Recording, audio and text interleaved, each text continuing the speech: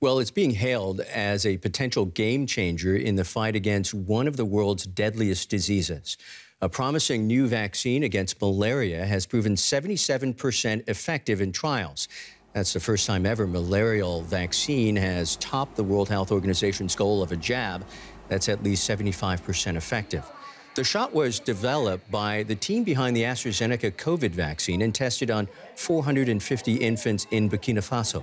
The scientists will now move to a so-called phase three trial involving nearly 5,000 children across four African countries.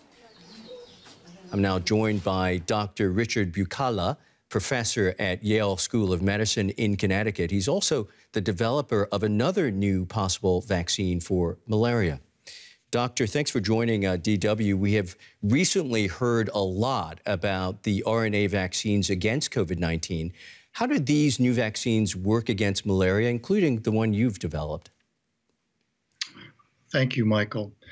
The vaccine that we are working on, which is still preclinical, it's in animal testing, take, takes advantage of a gene that we discovered about 10 years ago that's produced by the malaria parasite that acts to suppress the immune response to the parasite.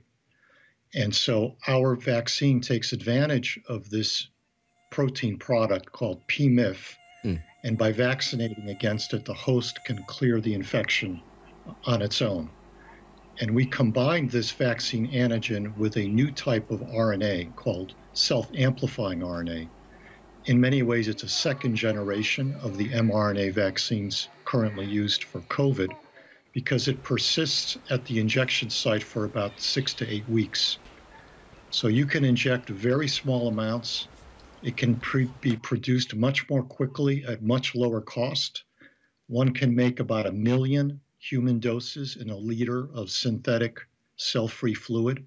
Mm. So it would be potentially much easier to distribute, much less expensive, and it could be produced at sites around the world uh, in malaria affected countries.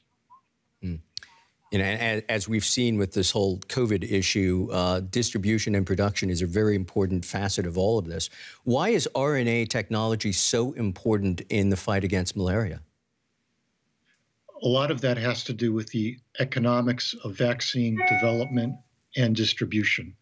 Uh, as many of my colleagues like to say, vaccines don't prevent infection, vaccinations do.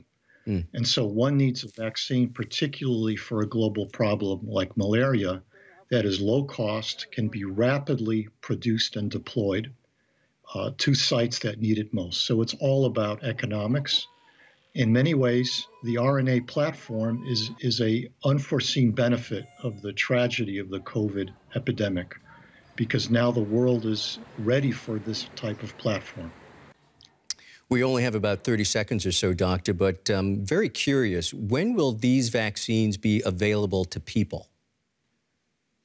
So, as I mentioned, our vaccine, it's not in human testing. Um, as the Oxford vaccine you led the story with, we are in animal testing. Um, we're hoping that within two years, uh, we can work uh, toward beginning phase one testing in human subjects. Got it. That's uh, Dr. Richard Bucala, professor at Yale School of Medicine. Many thanks for making time for DW, sir. Thank you very much.